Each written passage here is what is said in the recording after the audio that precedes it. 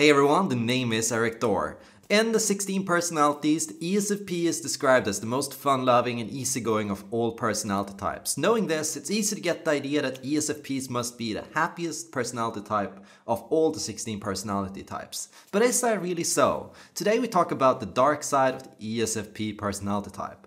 But before we get into that, let's talk some of the things that make ESFPs really special. So, ESFPs are dominated by being extroverted, sensory, feeling, and perceiving.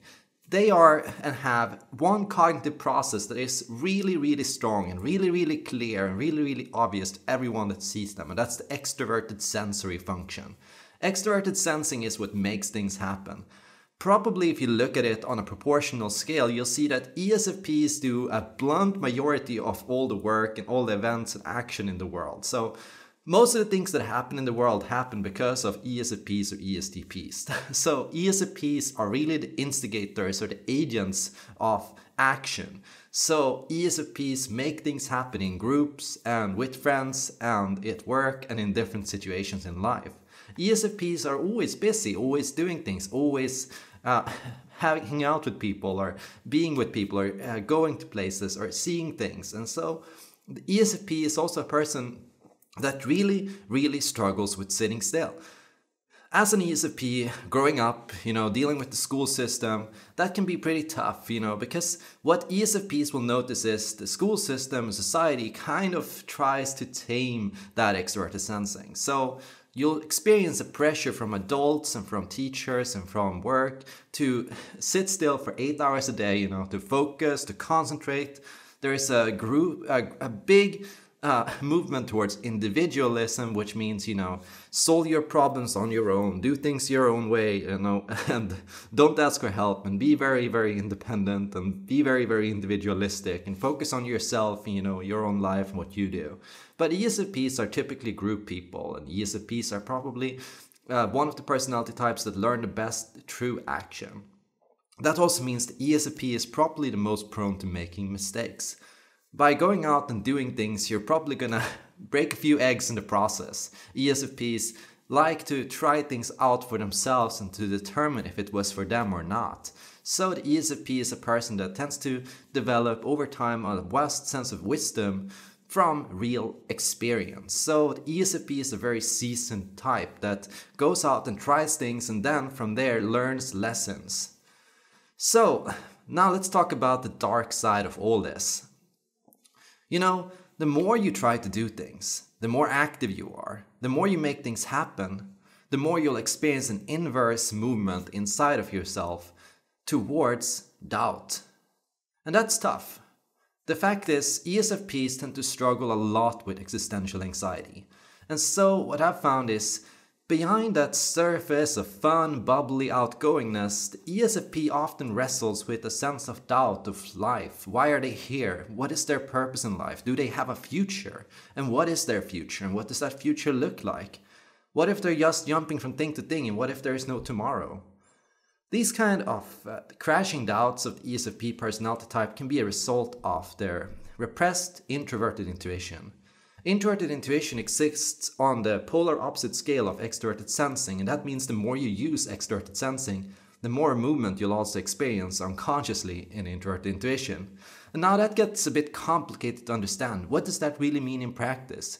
It means if you're always busy, you bet your ass that introverted intuition is going to give you some nightmares, some bad dreams, some uh, unconscious struggles, and problems and you're gonna be like, was that really me?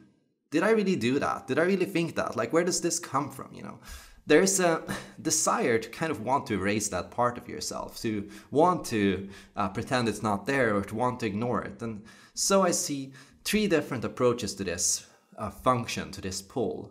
The first is, you know, denial.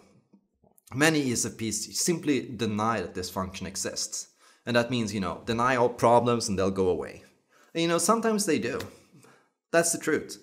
Some problems do actually go away if you avoid them, but many of them don't. And so, uh, existential angst can accumulate over time, and that's when you meet the deep, dark ESFP. So ESFPs, they kind of come in two flavors, you know, the super bubbly and outgoing and uh, loving and friend of everyone, uh, neighbory type, or the super dark and difficult and moody and what's the point style ESFP. And you know, that comes, that happens when simply there is no resisting that pull, you know, like every action has a cost. Everything you do comes at a price being so fun and being so outgoing all the time can come at the expense of a price, and that is, you know, the price of doubt. And that's why it's so important for the ESFP personality type to learn to compartmentalize and to process their experiences. It's great to be a person that makes things happen, but you gotta take the time to sit down and think about what you're doing afterwards. It's fine to talk before you think, but it, you better think about it after you said it. Why did I say that? Why did I do that? Why did I make this happen? Things that might seem at random, or things that might feel as if it wasn't really you, or things that might feel uh, easier to want to ignore or avoid, are often important. Those like outbursts that you have of anger, or those things that you say in the heat of the moment in that situation, often come from somewhere and mean something. So you better take your time to think about where that comes from, or you're gonna be lost. It's easy to fall into a state of doer autopilot. And that actually kills the fun out of this function. Extroverted sensing is best when it's done with intention, and that means if you act and if you are fully present in what you do and very attentive and mindful of the fact that you are attentive and that, you're active and that you're doing things, and if you are moving at a pace that is comfortable for you, that's the best. So, as an ESFP, don't try to rush yourself more than what is comfortable for you. And so find a pace of action and doing that works for you. And that means, you know, if you rush yourself, if you pressure yourself to be super on or super attentive or super active constantly, uh, you're going to find that it's going to kill the enjoyment and the pleasure of everything you do. So, I said there were three ways of dealing with inferior introverted intuition. The first one was denial. The second was the kind of tidal wave that swoops over and takes you over when introverted intuition becomes too much to ignore. And that's, you know, when the ESFP like just shuts down. what is the third way though? Well, the third way is the best way, and that is the way of balance and integration. So, what I argue that all ESFPs and ESTPs should learn is a level of kind of Zen. So, Whenever an ESFP takes action or goes out and makes things happen, they should take action with a clear mind, a fresh mind, and an aware and wise mind.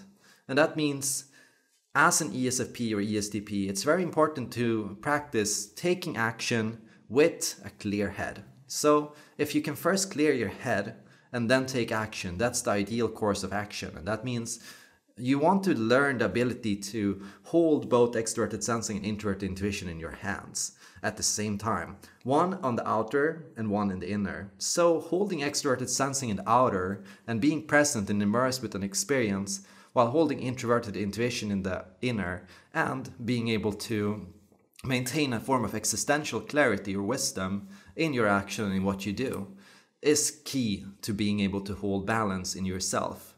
You want to develop the ability to form pathways and connections between these two functions, as many connections as possible, because when you're able to integrate and merge these functions and wheel them together, that's something that's going to set you apart from all other ESFPs and ESTPs, making you appear individuated or even possibly transcending the limits of your own personality type. ESFPs and ESTPs that are capable of this kind of interconnectedness between these two functions will experience less tension when they move and take action. And that means when you take action, there is no resistance from introverted intuition, there is no unconscious doubt that makes you sabotage yourself. That means everything you do complements itself. Extroverted sensing and introverted intuition are often treated as opposites, but they don't have to be. There is actually a space where these two functions can intersect, and extroverted sensory types are known to be amazing at using introverted intuition to accomplish great things. Take, for example, the example of Kim Kardashian. People often think that what Kim Kardashian does is a happy accident. She's just having fun and somehow she got famous doing it. But if you look behind Kim Kardashian, you'll see a person, a secret INTJ mastermind.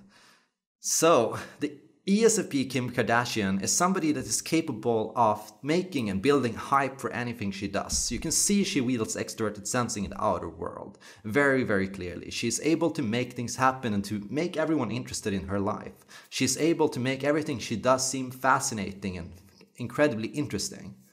But beyond that, she's capable of being a mastermind. So, the ESFP mastermind is a person that is able to think and plan and to act with wisdom when she takes action. And that means when she takes action with extroverted sensing, she's able to also see and analyze the consequences of every action that she takes. She knows that there is a price to every action. She's aware of her shadow. She is self aware of her behavior. And that allows her to act knowing how other people is going to receive her actions she can do and say things that might seem stupid or random, but there's always a, a, deeper intention. She knows how to use her image and persona and how she looks and how she appears to create impact and to create a fun and engaging situation. And so that's the recipe of success for the ESFP personality type. This ability to be an agent and a mastermind at the same time, this ability to translate everything you want to do to a strategy, to a plan, to something deeper and more future oriented than what it normally is. So every action you have creates reactions, creates change. These are my thoughts on ESFP personality type. Do you agree or disagree? Feel free to leave your comments down below. Thank you so much for watching and I hope to see you all in the next video.